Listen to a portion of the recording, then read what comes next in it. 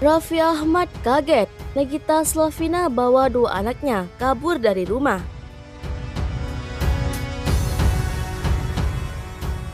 Nagita Slavina murka karena Raffi Ahmad tak meminta izin dulu padanya saat mengambil uang tabungan milik anaknya untuk membeli mobil mewah.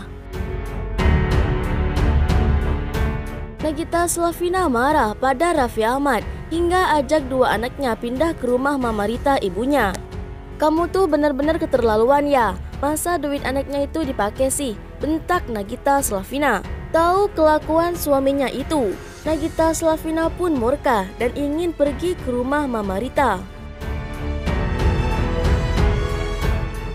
Raffi Ahmad hanya bisa pasrah melihat mobil yang ditumpangi istri dan anaknya melaju pergi gegara ulahnya sendiri. Nagita Slavina tak tahan setelah tahu kelakuan Raffi Ahmad yang kelewat batas. Hampir 8 tahun berumah tangga, Nagita Slavina kesal bukan main dengan tingkah Raffi Ahmad. Gigi bahkan nekat kabur dari rumah meninggalkan sang suami. Pemicu Nagita Slavina emosi lantaran Raffi tega memakai uang tabungan sang putra demi membeli mobil mewah. Hidup bergelimang harta tak menjadikan Nagita Slavina kalap untuk menghabiskan semua uang untuk keinginannya. Ia lebih memilih membeli barang-barang yang memang diperlukan ketimbang untuk berfoya-foya. Namun hal ini sepertinya tidak terjadi pada Raffi Ahmad. Nagita Slavina bahkan sampai geleng kepala lihat kelakuan suaminya dalam menghabiskan uang. Bukan cuma itu saja, yang lebih parahnya lagi, Raffi Ahmad sampai ikut menguras tabungan Rafathar demi keinginannya. Tahu kelakuan nakal Raffi Ahmad di belakangnya, Nagita Slavina pun geram. Bukan emosi biasa, ibu dua anak ini sampai memberi ancaman bakal minggat dari rumah sembari mengajak dua putranya.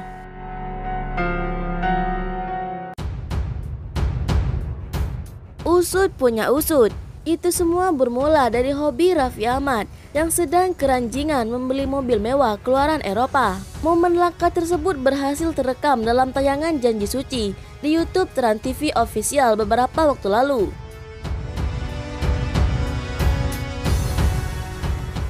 Biasanya selalu sabar, emosi Nagita Slavina makin memuncak saat tahu uang yang dipakai Raffi Ahmad ternyata milik Rafathar.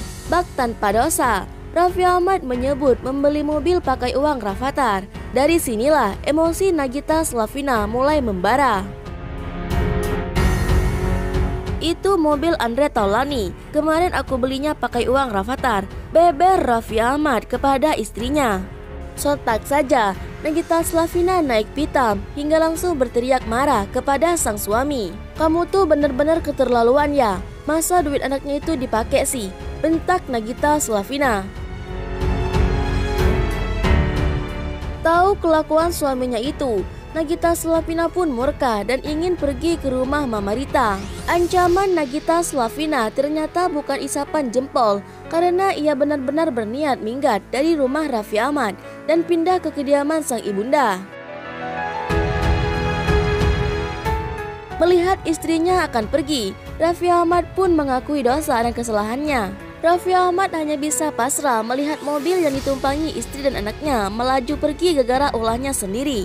Niat aku tuh cuma mau bercanda, kata Raffi Ahmad kelimpungan sendiri. Namun, insiden ini berakhir dengan tawa karena ternyata sedari tadi Raffi Ahmad diprank balik oleh Nagita Slavina. Wah, prank di belas prank dong, kata Raffi Ahmad.